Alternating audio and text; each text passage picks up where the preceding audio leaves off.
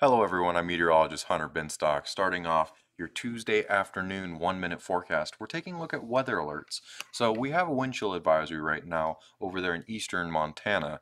It's for wind chills valid until Thursday at 11 a.m. Mountain Standard Time. Now we can ex expect these advisories to start progressing across North Dakota as the system is moving south. We have that cold Arctic air that's going to move across the upper portions of the Midwest and we also have a hydrologic outlook. Now it's not on the map here, but it's in central North Dakota around the Bismarck area. Now, right now the Missouri River is at 4.9 feet.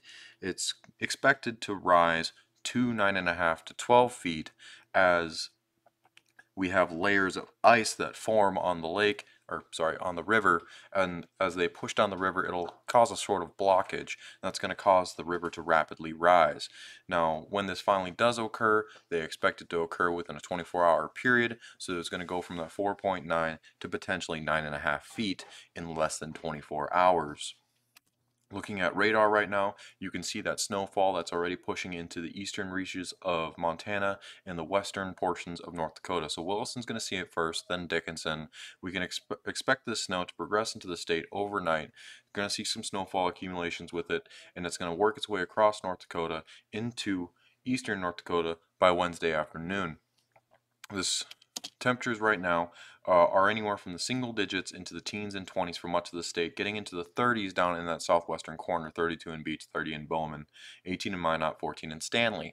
So those temperatures are cooler and they're going to get a lot cooler over here the next couple of days. Now our temperature outlook has us quite a bit cooler than the seasonal averages. Right now we would be expecting like the teens into the single digits, but with this incoming system, it's kind of throwing a little bit out of whack where we could see those temperatures that are going to be well below zero.